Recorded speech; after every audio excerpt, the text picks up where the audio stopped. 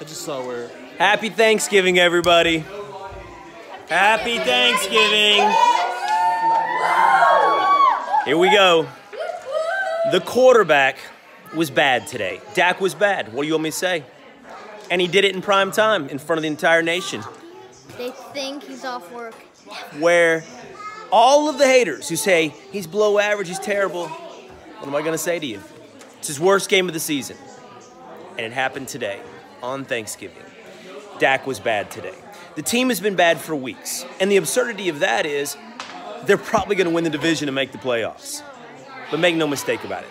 The Cowboys have been bad for weeks. And the coach has been bad for a decade. I didn't think there was any point in firing Jason Garrett during the middle of the season. What's that, sweetie? Happy Thanksgiving. Yeah, happy Thanksgiving to everybody, but Jason Garrett. Happy Thanksgiving. It's time. There was no point bringing him back. You can't bring him back tomorrow. It can't be tomorrow. We're, we're beyond disappointment. We're beyond below expectations. It's unacceptable. It's time to go. It's time for this to be over. Happy Thanksgiving, everybody.